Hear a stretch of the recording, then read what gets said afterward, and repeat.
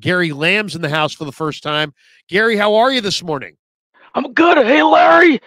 Larry, the problem with Brock Purdy, he's got two good ACLs, Larry. That's his problem. A couple ACLs behind this line. It's coming soon. Larry, hey, hey, long time fan. Trent Baalke. So, that was for those who missed it. You know, you know, I like Brock Purdy, Larry. I'll tell you, I like him. But the problem with him is he's working on his original ACLs. I like getting her third surgery, so to speak. There we go.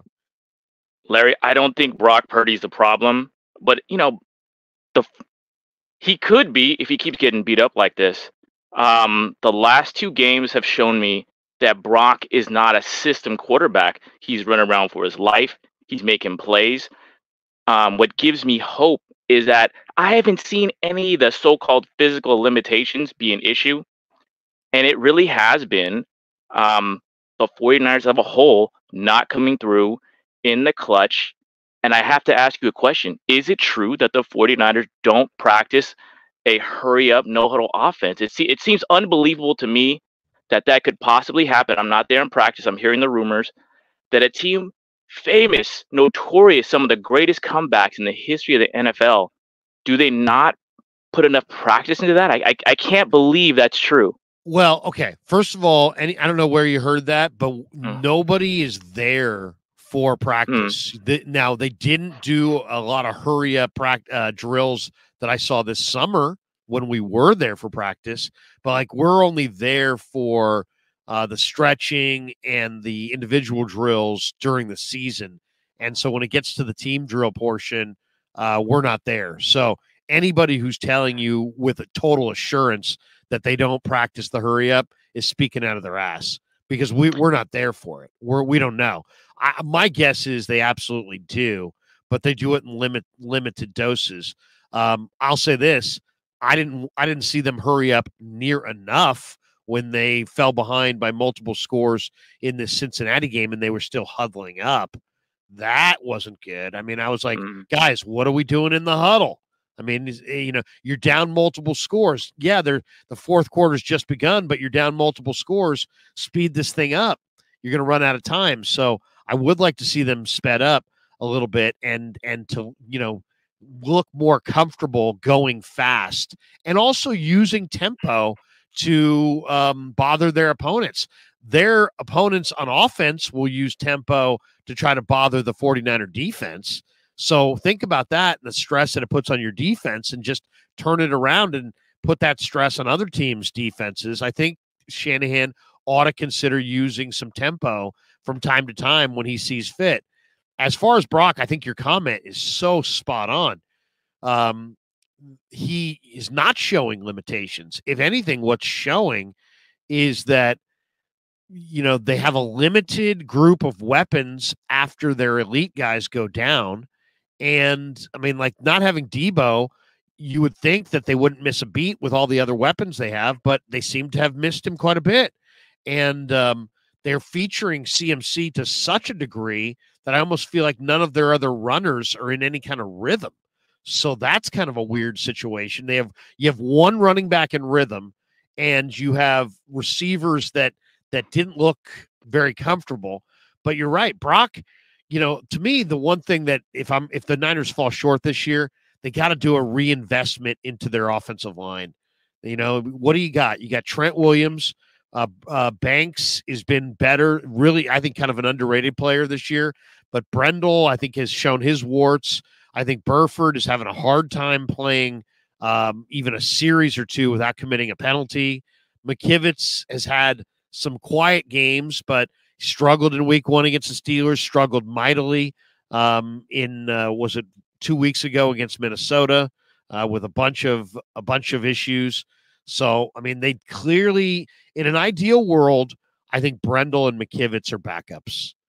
In an ideal world, yeah. those guys are backups, and and you have a you have a big physical dominant center, and you have a big monster physical road grading right tackle. Um, and that's kind of what I see in the offseason ahead. And I I was looking at the mock drafts and I was looking at Dane Brugler's breakdown of of the draft. He's he's got a great article up on the Athletic right now of top prospects for the draft, and I'm starting to do my my draft. You know, starting to look into it. There's a bunch of tackles. Um, a lot of them are going to go really high. Uh, Olu Fashanu from Penn State, Joe Alt from Notre Dame. Um, just a couple to you know to name a couple, but there's a bunch.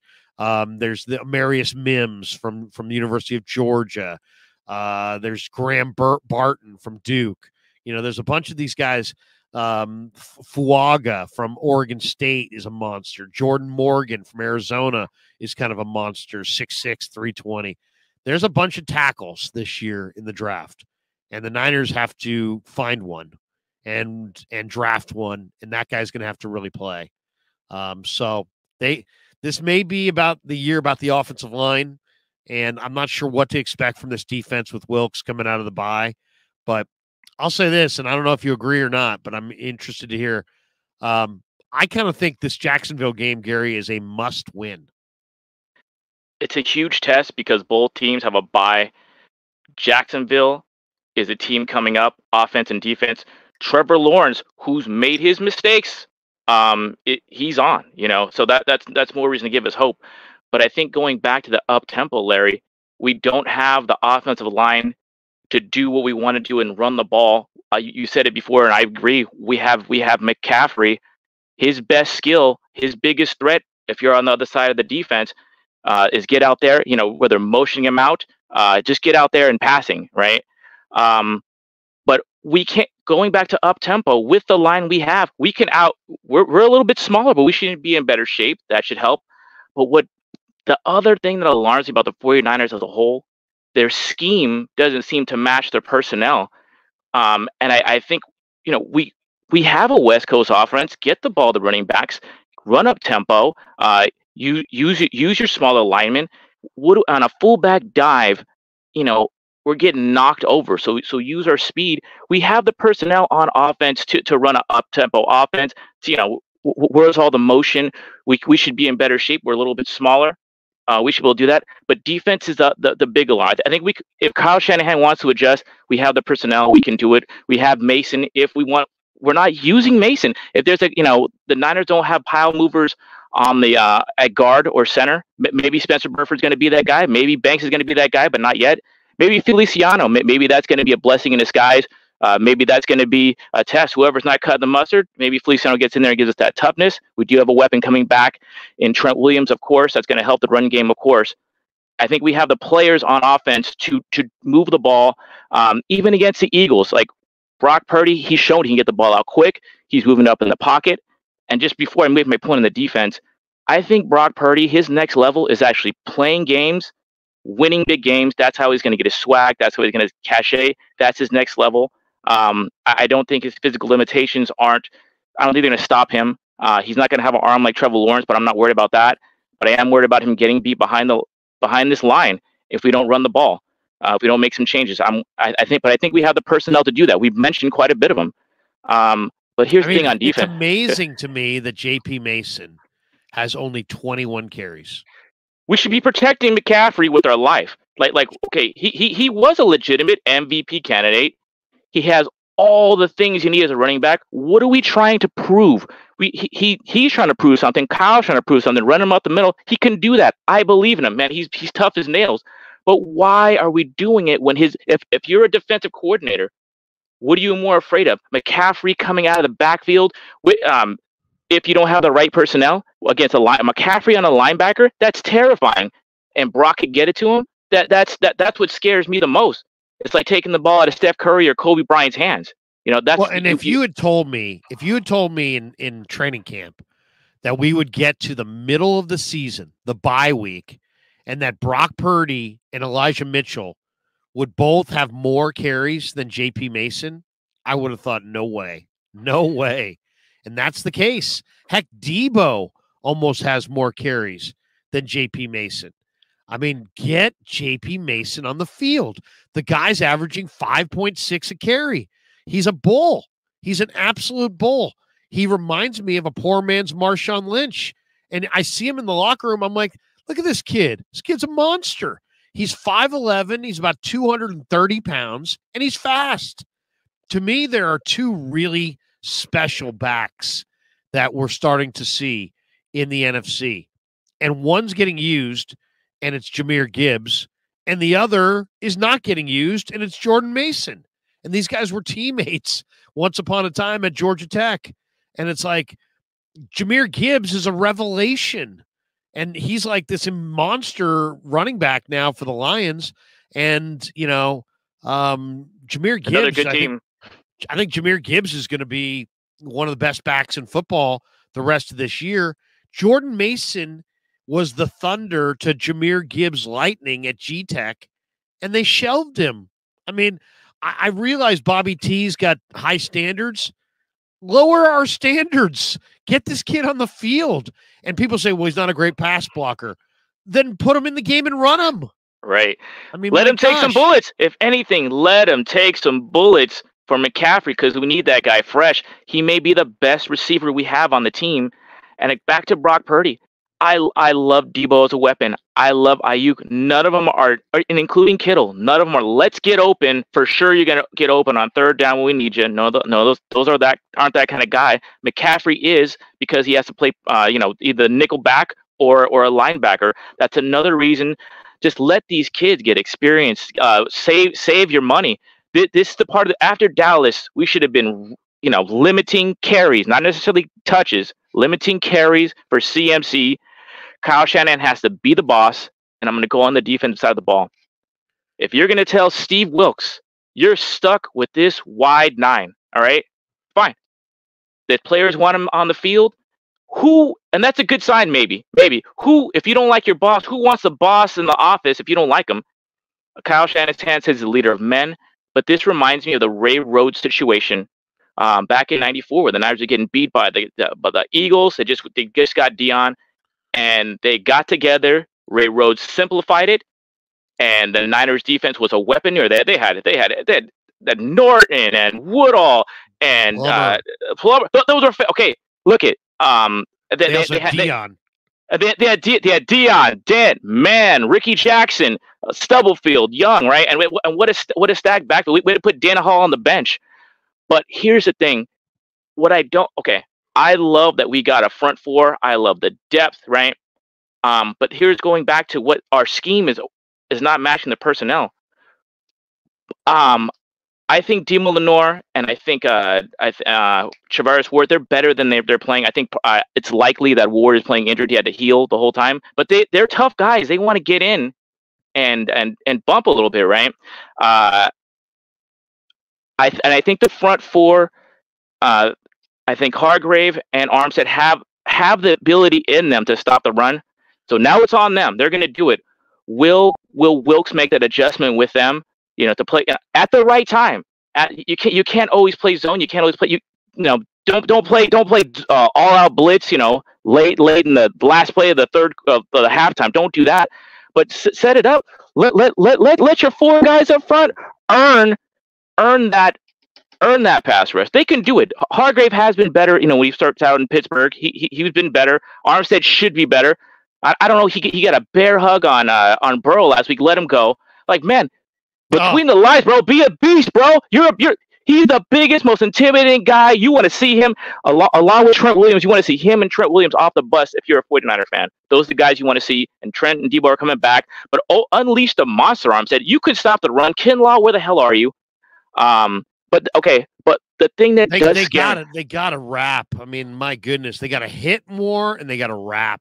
The whole team don't make plays. We don't, we don't make the right calls at the right time. We don't make the right plays. We drop the ball, and it's and we're not making tackles. I, I think thi- this with getting getting Chase Young, all of them, all our front four, they can stop the run, and they got to do it first and second down, and and that and hopefully we're going to marry that to our coverage. We're going to make the right calls. We're going to get on the same page, like Ray Rhodes did with the 49ers in 94, 95. But here is my big question uh, about the personnel on defense. It's Isaiah Oliver. And the thing is, the 49ers are usually having Jimmy Ward and K'Waun, Williams. They were that it wasn't just a player, that was a force of, of, of our of our team. Uh, K'Waun, Williams, tremendous blitzer, tremendous tackler. Jimmy uh, Jimmy Ward. I mean, Jimmy Ward was a, a force. So we go from a force not having a force. Boy, I, I I'm really hoping maybe uh, uh, Luter or what's his name, uh, Well, Sam Womack. See, the thing is, but we're we're banking on someone with not a lot of experience. I like what I've seen in Womack. Uh, I was honestly, I didn't want. I, am trying to give Oliver a chance. I didn't want him to make the team. Uh, from from what I'm hearing about, uh, I didn't either. I wanted. I, I, I, just, I, I, literally was calling for them to go for D'Shawn Jamison. I thought Jamison outplayed him in coverage um, this summer, but they made an investment. They didn't want to look right. bad. And so they went with Oliver, and Oliver's not horrible. He's making play, he's, he's, getting toasted, Larry. He, he, well, he, he can't play coverage. And he's, he's not. Coverage. He's getting toasted bad though. Like like when he gets beat, he gets beat bad, and it, has got to bring you down mentally if you're the rest of the team. It's just like you, you can't. How can how can you use him? Like that. That's the question. How can and he's trying to make plays. He's made a pick. He, he get. I, I don't know what Did to do with that safety? guy. I don't know. I don't. I'm. I'm not. I'm not as a. I, I don't. I mean, that, who knows? He was a it's gonna be like a Marcus. Yeah. He was a corner at Colorado. They played him outside. Then they moved him inside, and he's he was better. Um, his best numbers were last year in the slot.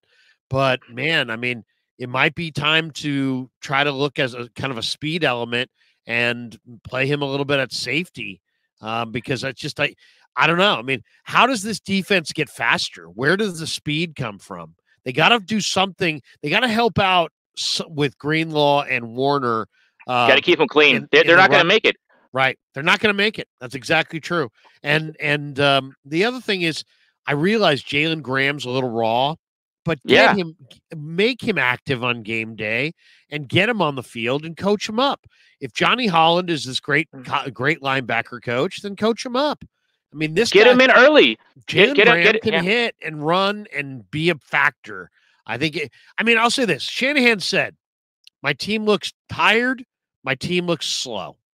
All right, the bye week's going to help the tired, but the, only the injection of speed is going to help the slow. And so there's going to have to be, and speed is oftentimes youth. So does that mean Ji'Ayir Brown? Does that mean Womack? Does that mean Luter? Does that mean Danny Gray?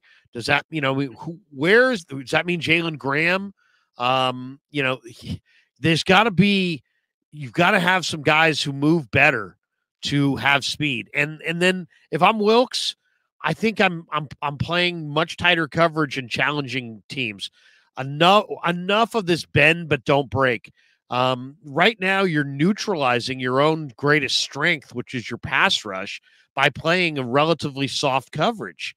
You're allowing a quarterback like Burrow, who likes to get the ball out fast, but the last two weeks you've been carved up like a Thanksgiving turkey because your coverage is soft and your D your D line's not getting home. Well, if a quarterback wants to get rid of the ball in 2.4 seconds, it's going to be very difficult for Bosa and company to get get sacks. So, what does that tell you? That tells you you got to play a much more aggressive coverage, whether it's man or zone. You got to get up on the line of scrimmage and hug up on these receivers and dare them to go over the top. Um, otherwise, it's going to be every quality veteran quarterback that they face is gonna is gonna attack them underneath all day. The other thing that I think is absolutely vital, we have to see it starting in this Jacksonville game. They got to start playing complementary football. You've got to you've got to think of your defense on offense. So run the ball, control the clock, dominate the time of possession. Shanahan loves to score quickly, and it's great. And when it and when it works, it looks great. But be a little bit more patient. Take what the defense gives you. Keep methodically driving the ball down the field. If you possess the ball, that's all the that's minutes that the offense is not possessing the ball. Why do I say this? Because I think one of the real factors for this Niner defense is they've got to bring more energy and more effort but they can only do that if you limit their snaps. If you don't limit their snaps, then it's going to be a hard, you got to play complementary ball here. So um, I think that's a major key. You got to keep in this Jacksonville game. You, Jacksonville's got a ton of speed. Trevor Lawrence has got a big arm. You've got to make sure that your defense can match up to them, and you do a good job by helping them out by controlling, dominating the time of possession, running the hell out of the football, first downs, first downs, first downs, first downs. And then when your defense does get on the field, hopefully they're getting on the field with a lead and with a ton of energy.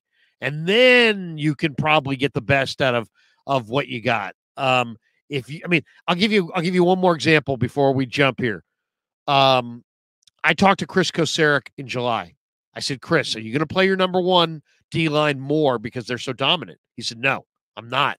He goes, I, if I play Bosa and the number one 65 to 70 snaps a game, they're not going to be healthy come playoff time. I said, okay.